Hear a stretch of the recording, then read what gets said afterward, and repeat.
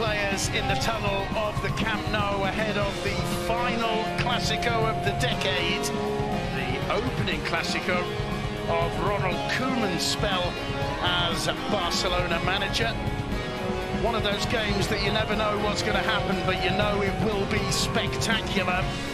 And uh, there are surprises, certainly from the home side in the starting lineup, which we will bring you up to date with over the next few minutes. Right now, just soak up the tension of these moments as the players think about what's coming up for this most unusual of Clásicos.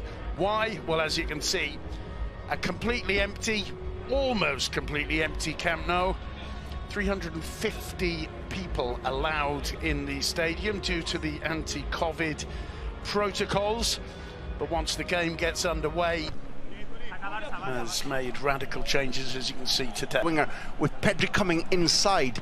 If, if Koeman had warned... And Valverde, Valverde with an opportunity! 1-0 to Real Madrid. Valverde with the goal. Benzema gives the assist. The defence absolutely wide open. And Fede Valverde with his second goal